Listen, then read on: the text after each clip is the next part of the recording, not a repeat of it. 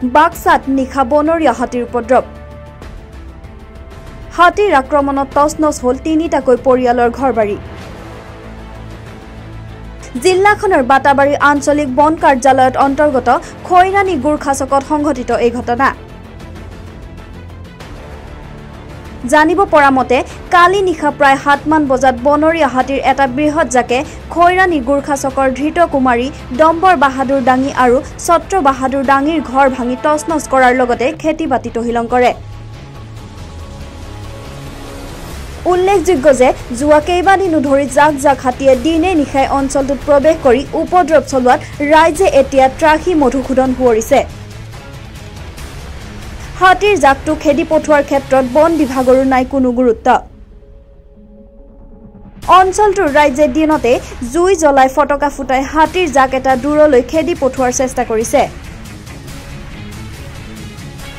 কাৰণ নিশা হলেই হাতীৰ জাকটোৱে গাঁও অঞ্চলত প্ৰৱেশ কৰি ঘৰ দুৱাৰ ভঙাৰ লগতে পথাৰৰ খেতি বাতি তহিলং কৰে।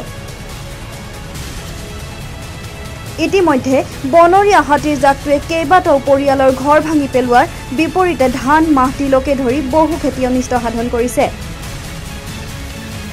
কপালৰ ঘাম মাটিত পেলাই কৰা খেতিডৰা বনৰীয়া হাতীয়ে তহিলং কৰাত কৃষকসকল হতাশ হৈ পৰিছে।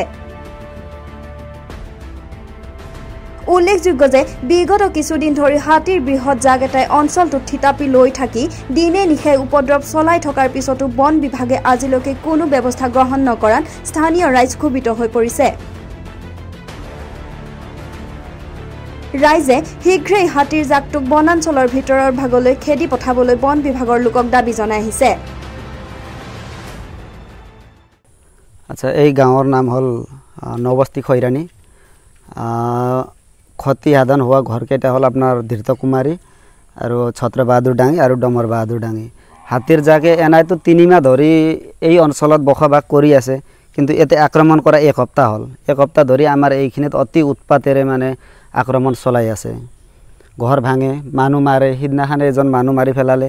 তাৰ আগতে জমা আমাৰ এইখিনি অঞ্চলত চাৰিজন মানুহ মৰা মাৰা হ'ল।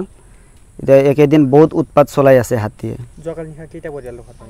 যোৱাকালি নিশা আমাৰ এইখিনি তিনিটা পৰিবাৰৰ ভাঙিলে। নাই? এতিয়ালৈকে কোনো বন বিভাগো আহি পোৱা নাই আৰু জনপ্ৰতিনিধিও আহি খবৰ লোৱা নাই। আৰু কি ক'ব ৰাইজৰ ফালৰ পৰা? আমি এইটোৱে সকি আনি দিব বিচাৰিছোঁ বন বিভাগক।